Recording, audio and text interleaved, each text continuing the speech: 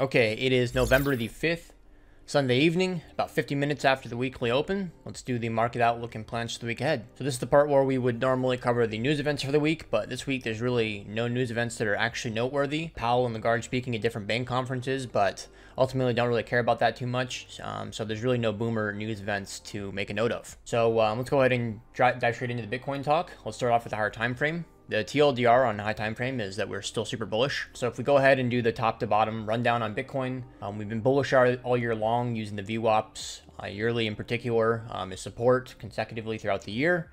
Um, where we're at now is we are starting to trade into resistance, so um, it does make sense um, to continue to play the trend, but be wary of the fact that uh, a pullback is probably in the not so distant future. Um, so the the current view, like we've talked about for a little while now, is whenever you have these kind of major impulses like we've had all year long, um, you particularly this one with how strong it was, um, you anticipate that price will continue to drift in, in the direction of the impulse. So um, the higher time frame view right now is that even though we're trading into last year's um, value area high amongst some other um, composite levels that we can point out in a moment, um, I do think that price will continue to drift up. So all my medium and you know lower time frame setups for the week are going to be um, dip buying for you know trend continuation essentially um, as we continue to push into the higher time frame resistance and expect that supply will start to take over and momentum will be eventually lost.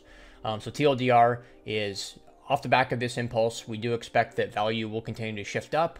I think that we will eventually start to build a range um, to distribute as we trade up higher. And um, from there, we will be looking to hedge out our spot again um, because I am spot long. I have zero interest in hedging it out uh, until I see some sort of indication um, that bulls have lost control and that bears have resumed control. Um, I do think that we'll see some sort of distribution built up between 36 and, and 38K. Um, we are trading into macro resistance, and there, there's a lot of resistance in the 37s to 38s. So I think that this is where um, bulls will lose their steam. Um, from there, I do think that we'll eventually trade back um, to the next macro support at 30K.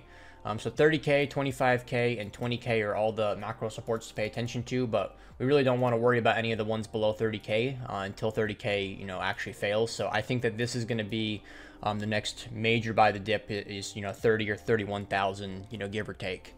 Um, and essentially, how I'm viewing this this support region is the same as um, the 10K flip back in 2019. Um, it was, you know, in hindsight, when you look at the chart, it looks like it was very easy to buy the 10K flip. Um, but having bought it back then, uh, you know, especially because the uh, March 2020 event was, you know, only a couple months before that, buying that support resistance flip was actually uh, not easy. And it, I remember it being quite scary to do so. Um, so I think that um, that's how this will play out again. This will be macro um, support um, to see trend continuation um, into 2024. So um, before we get to that, you know, one of the key things I'm looking for is that I do think that we'll build some sort of range.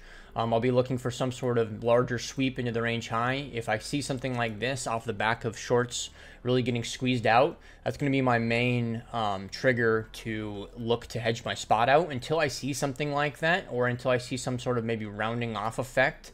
I really don't want to um, mess around with with hedges um, because likely what's going to happen for the people that are hedging aggressively is that they're going to um, end up in the cycle of opening and closing over and over again.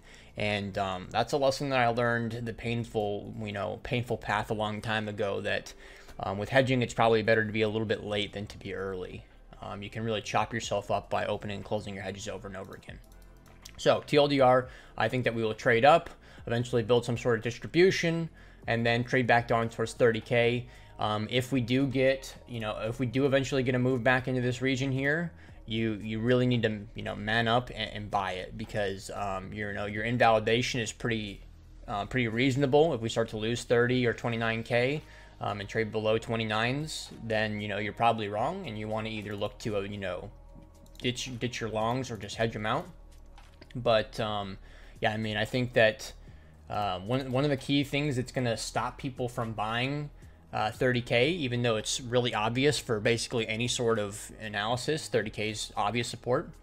The two ways that um, it's going to be difficult for people to actually participate in are, you know, time capitulation and um, and you know an aggressive move down. So the longer this kind of distribution cycle takes, the more people are going to forget about this. So that when we do trade down to this, um, it's gonna you know be something that they've forgotten, right? If it takes months to do this distribution and come back down to here, um, people will get so bullish and so chopped up in this distribution that by the time we come back to here, they'll have abandoned this kind of obvious thesis. That was definitely how the 10K flip took place. Um, it took several months for the you know support resistance flip to actually play out, and um, even though it looks like it was obvious, it really wasn't to most people, um, just because the um, the time element. And then the other element would be the the move down being really aggressive, right? So if the move down just comes in like a really big puke, uh, a lot of people will be scared to buy that.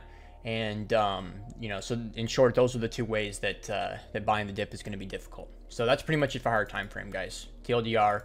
Uh, in the short term, we're going to trade up. Eventually, I do think that we'll come back.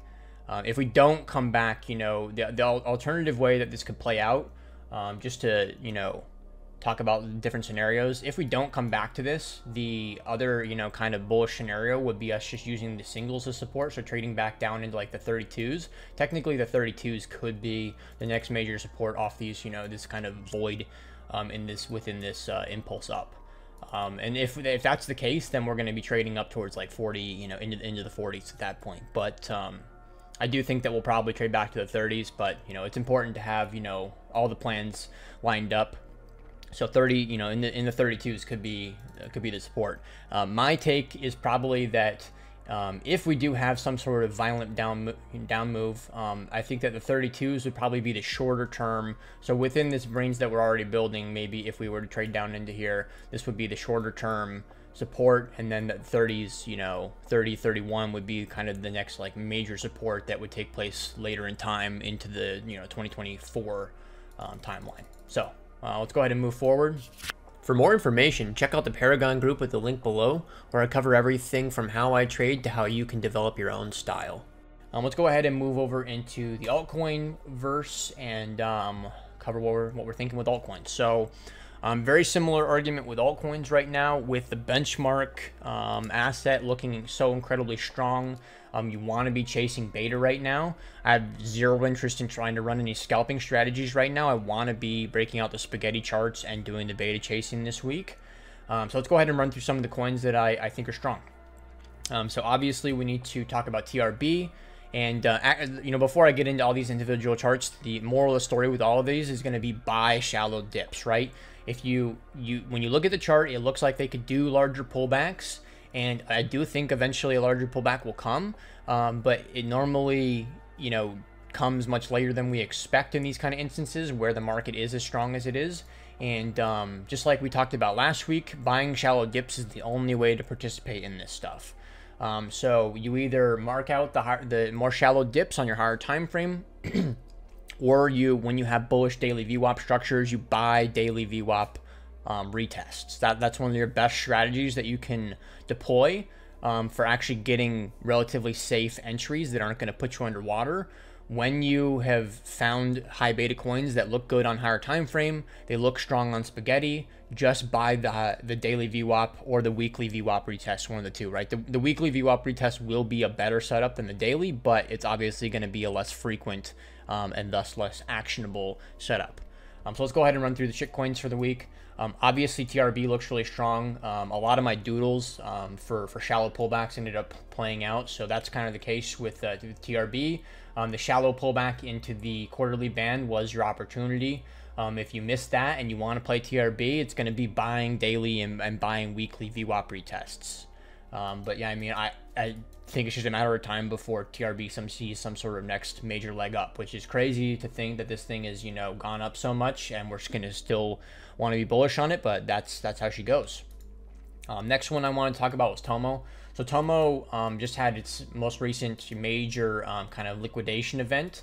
Um, we, we've seen this a lot with Tomo, right? We saw this back in June. We saw this back in August, and we're seeing it again now, where we have these major pukes where price goes down, you know, 30% or something. Yeah, literally, literally went down 30% in one day.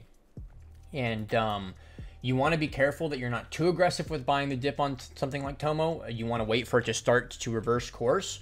Um, but we had a lot of, sh- of shorts opening off of this move. Um, so, you know, we had a very, very large open interest increase off the back of this move down, which we saw similarly on both of these pukes as well. So I think even over here potentially, but I know for sure on, on the June and August pukes. Um, so Tomo's probably going to start to reverse course, and once these shorts start to get put under pressure, um, they're gonna they're gonna un- unwind obviously, and um, being on the long side when those shorts start to unwind um, is how you catch a, a plus 25% kind of day on Tomo. So Tomo's one that I want to be aggressive with chasing longs on potentially. Uh, a similar story with INJ, although INJ already played out. This was the doodle from Friday's stream. It didn't actually go as low as I thought it would, but um, any of these coins that look like this, right? You know, I know people are tempted to want to short them, but you just got to play shallow dip continuation plays. So INJ, um, definitely, it's not something I would want to play where it's at. I would want to see it give me a better setup where it either consolidates or does a pullback, but um, long continuation on INJ makes sense. So that's pretty much it for altcoins this week. Again, uh, I'm not really interested in scalping at all. My main focus is going to be um, getting that confluence between decent VWAP structuring and uh, things that look strong on the spaghetti chart. From there, I will be doing shallow VWAP retest and, and you know and view you know retest off of singles and stuff. Any sort of shallow dips on things that have strong VWAPs and strong on spaghetti are good to go. That's pretty much it for the week, guys. I do think that um, it makes sense to be super focused up this week and, um, you know, keen to trade a lot. There's probably going to be a lot of opportunity, and um, good luck out there. Cheers, everybody.